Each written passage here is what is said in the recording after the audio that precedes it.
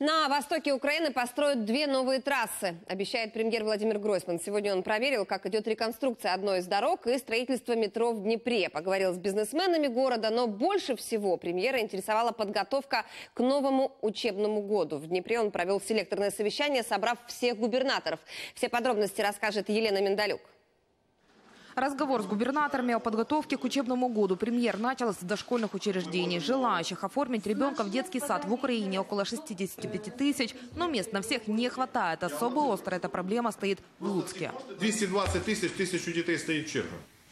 Так, але в свій час було проведено перепрофілювання багатьох дитячих садочків. Ви мені не причини. Ви мені чітко готуйте спільно з місцевою владою план, яким чином ви використаєте можливості децентралізації. Гроші у вас на місці на місцях є. Я вам на цифрах це доведу. Просто ці кошти треба дати дітям. Все. Из хорошего учителям повысили заработную плату на 50%, а воспитатели и преподаватели профучилищ надбавку к окладам получат уже в сентябре. Вот только удержать их все равно очень сложно, сетует глава Закарпатья. В области есть школы, где осталось 2-3 учителя.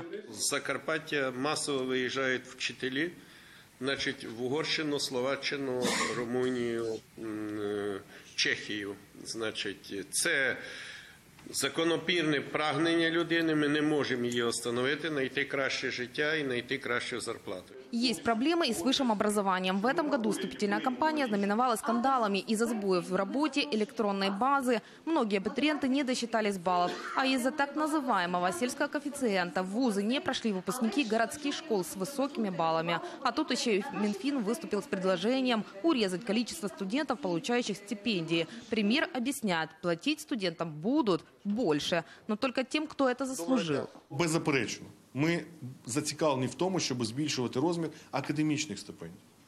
Ти навчаєшся, маєш гарні е, навички, знання, маєш отримувати підвищену стипендію. По, всім категоріям стипендій ми стипендії в цьому році е, підвищили. Є соціальні стипендії. Це теж не треба забувати, що є молоді люди, які живуть в важких умовах, але це питання соціального захисту. Это было без журналистов и под занавес совещания. Неприятный инцидент. Премьер отчитал зама главы Черниговской области за невнимательность и предложил ему уволиться. Повторіть, будь ласка, що я сказав останнє.